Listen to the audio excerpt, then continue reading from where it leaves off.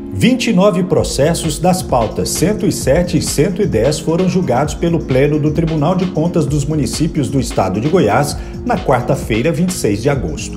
O presidente do tribunal, conselheiro Joaquim de Castro, conduziu a sessão por videoconferência, que contou com as presenças dos conselheiros Sérgio Cardoso, Valcenor Braz, Fabrício Mota, Daniel Goulart, Francisco Ramos e Nilo Rezende, dos conselheiros substitutos Flávio Luna, Irani Júnior e Maurício Azevedo e do procurador Henrique Pandim.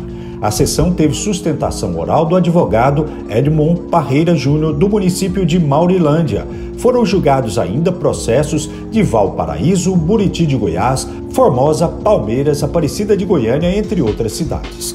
Todas as informações estão no site do tribunal. Acompanhe também as notícias pelas redes sociais. TCM, o Tribunal a Serviço da Sociedade.